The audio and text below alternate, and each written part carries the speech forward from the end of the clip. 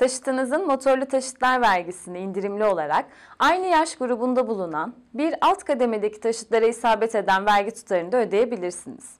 Bunun için taşıtınızın otomobil, kaptı kaçtı, arazi taşıtı ve benzeri olması, bir yıllık MTV tutarının aynı yılın Ocak ayında ilan edilen kasko bedelinin %5'inden fazla olması gerekir.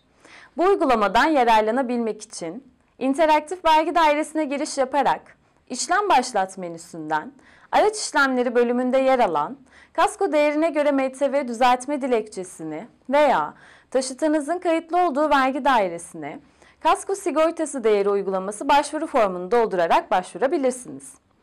Unutmayın, taşıtınızın kasko değer listesinde yer almaması durumunda yetkili sigorta acentesi tarafından doldurulmuş kasko sigorta değeri bildirim formunun aslını dilekçenize ekleyerek vergi dairenize göndermeniz gerekmektedir.